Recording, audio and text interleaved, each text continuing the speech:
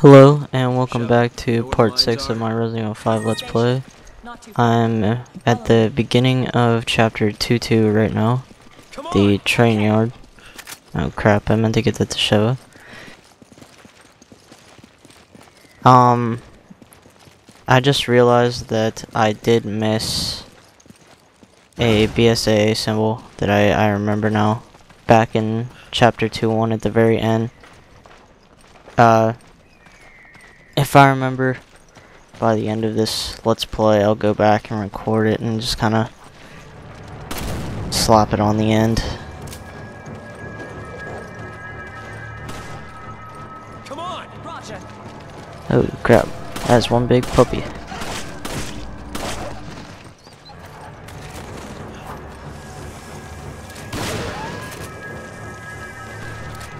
Peta's not gonna like this one Oh crap.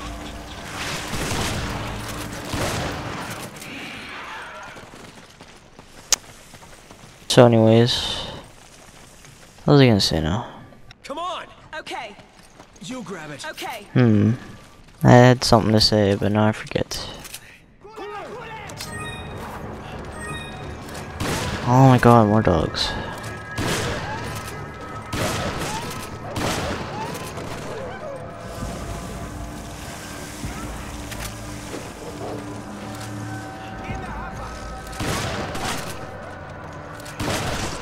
Uh, well anyways.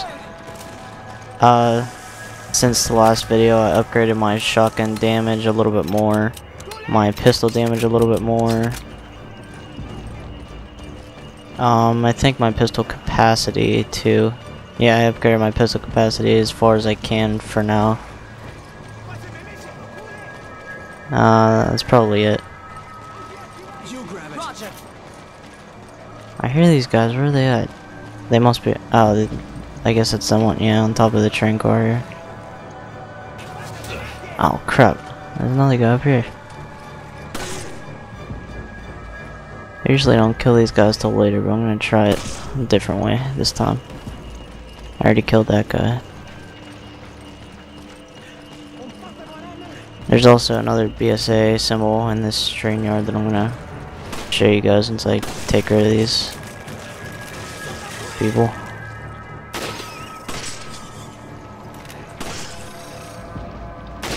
There we go. Okay, it is right here in this little radio tower thing.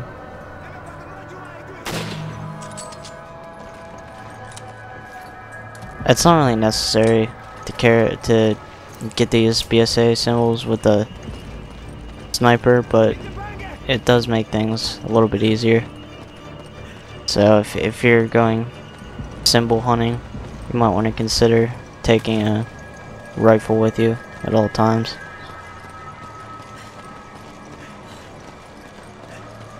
Um, right here there is a beetle. Yes, right here. There's usually some kind of ammo right here. It's not always the same, I believe, but I'm going to give that to Sheva because she has the MP5.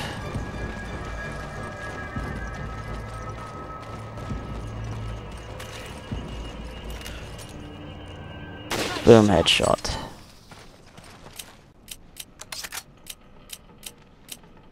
I'm gonna use this up.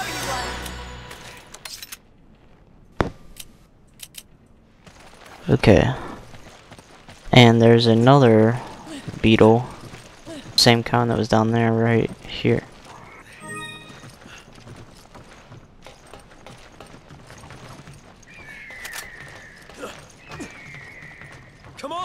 Okay,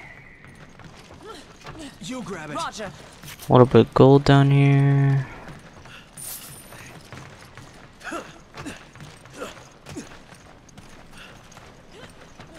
Oh yeah, also at the end of my last video, I, uh, I turned the game volume up back up to normal and uh, didn't talk for the last cutscene. I'm, I might do that for a couple cutscenes because I originally had commentary over the cutscene, but it wasn't really uh, that great or important, so I just decided to uh, raise the volume of the cutscene and let you guys hear what's going on. I may do that for some other cutscenes, see if I feel they're important or I just have nothing to say at that point.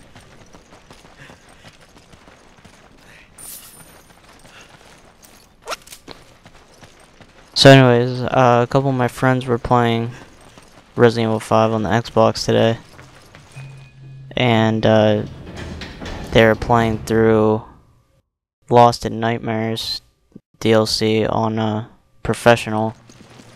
And uh, my one friend told me a Easter egg that I'm sure you guys are probably aware of, but I've never heard of it, where you, when you start Lost in Nightmares, you can look at, at the door and hit investigate or whatever, and it says like I can't, something like I can't leave the mansion until I finish my mission or whatever, and uh, you inspect it three times, and on the third time, it uh, just has a question mark, and you hit it, and it takes you into the old school static camera angles from uh, the old Resident Evils, and I thought that was really neat for uh, Capcom to add that in, especially since that DLC, if you're not familiar with it, takes place in the mansion that Resident Evil 1 takes place in.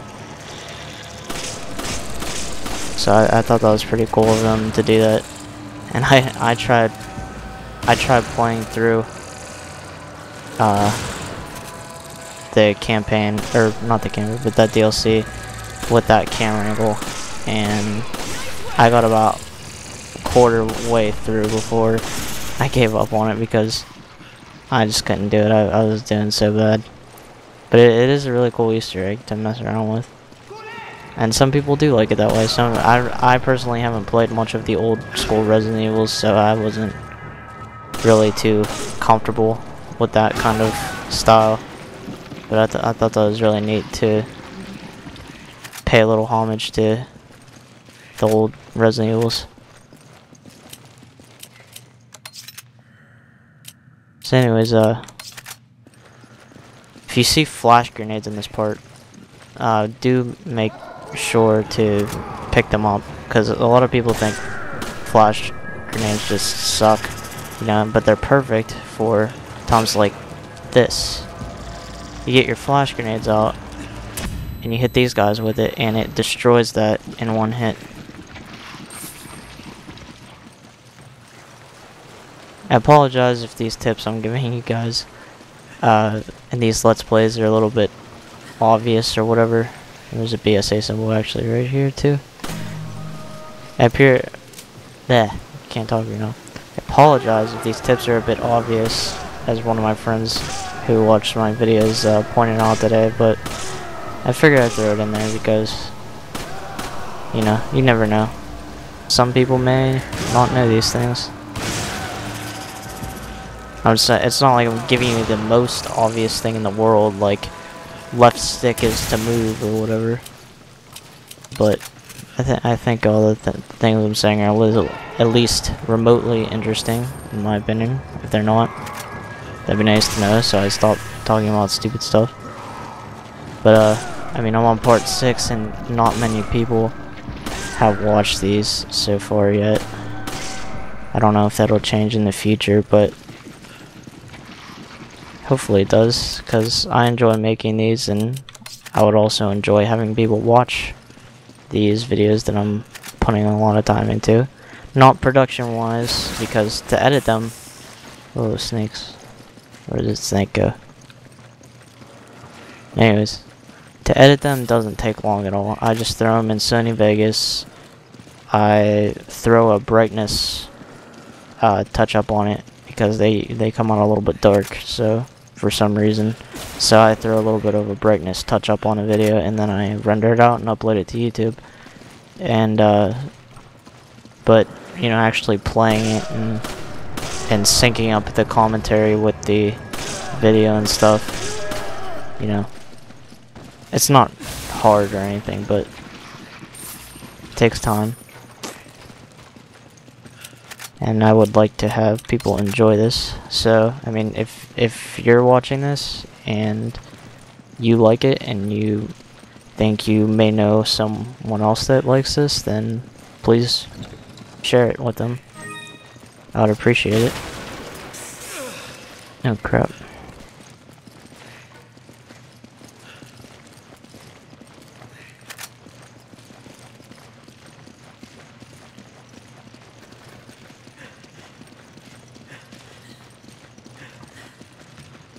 I noticed how. Oh my gosh, I can't talk now. I also noticed that I jumbled up my words a lot when I do these commentaries, as you guys can see right now. Or I just walk around in circles for a second, like I just did there while I'm trying to talk, because I do these commentaries live, and uh, so I'm trying to like think about what I'm doing and and commentate at the same time, and it gets a little bit confusing sometimes. So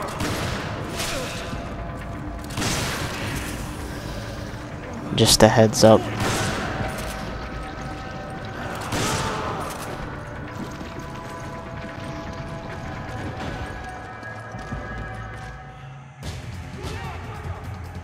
Alright, this is the big battle. Um, there are gonna be a lot of those things where their heads pop up. I always forget what they were called, but there's a flash grenade in there. Usually. If not always in there, so that's a helpful tip for you guys to know.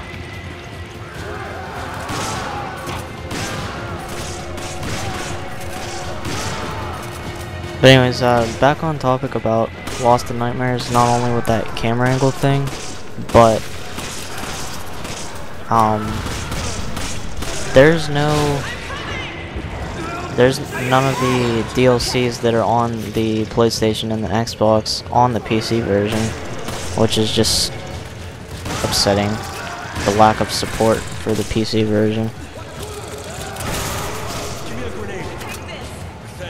And you may be just saying, why don't you just play on Xbox or whatever if, if you think that, that version's so much better. Well, I don't have a capture card for my Xbox. It makes it a lot easier to record on PC because you can just get any old game recording software, like I use Fraps, and that's the most co common one that people use. And uh, I can just you know, record any game with Fraps right on software, and I don't have to worry about transferring any files to my computer or whatever. It's it's really easy.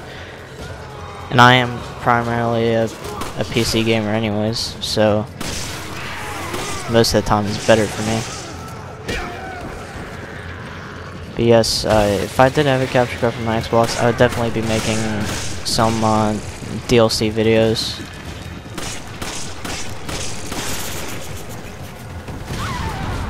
Did I say DLC for my videos? I don't. What am I saying? DL DLC videos. I don't even know what I'm saying right now. It's at the time of this recording. It's about 2:30 in the morning. I record all these late or early in the morning, I should say, because uh, you know everybody's asleep and it's summer. I'm up late anyways, and nobody bothers me, so it's a good time for me to do these. As I may or may not have said in an earlier video, I start college next week. Today being uh, August 16th, so I, I start the 22nd. And uh, I won't be able to do these or early in the morning like this anymore.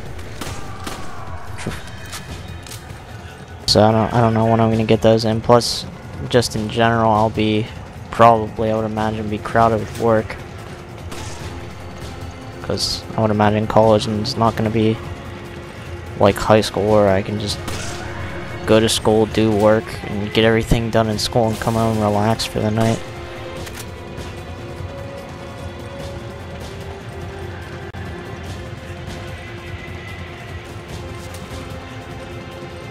I wish it was that way, but from what I hear, that's not the case.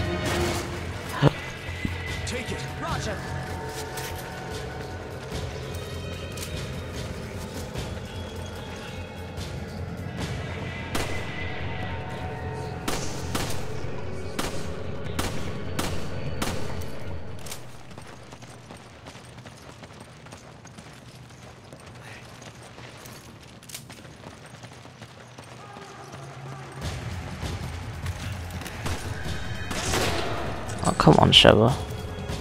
Trying to headshot him here.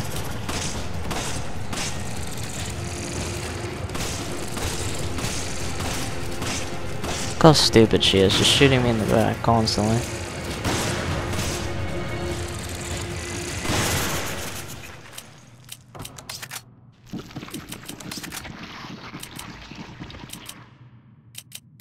I need ammo. Much appreciated. Oh, let me use this.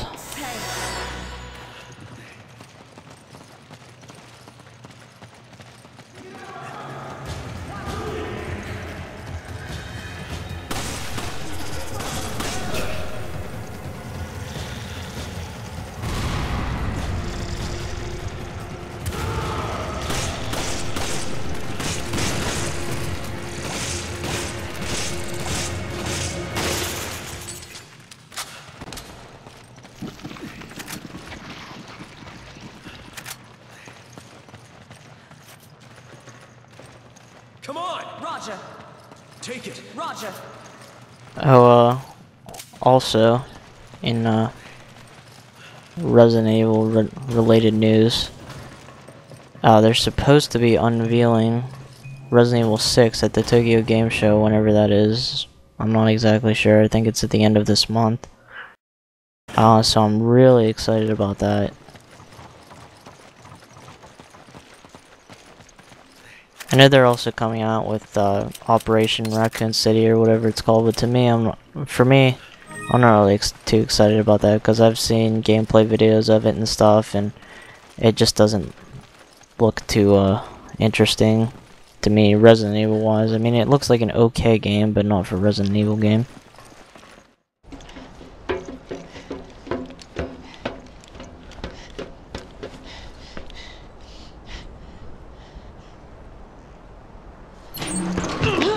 Breathe! Oh shit! So you must be Irving. Wow, perceptive, aren't ya? You think this is a joke? You're just like all the other pieces of scum terrorists. Oh, I'm not like them. I'm a businessman with standards. Drop the weapon! Or, how about you drop yours?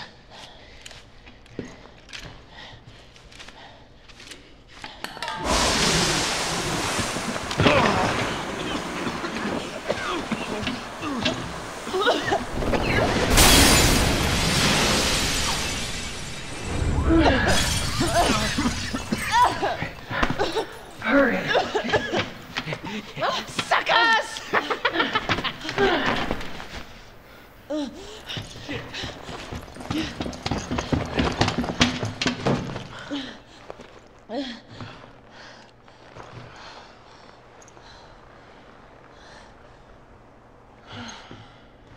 Great. Looks like Irving has a partner. There must be something here he didn't want us to see. What is it? Look at this. The oiled field. That's in the marshlands.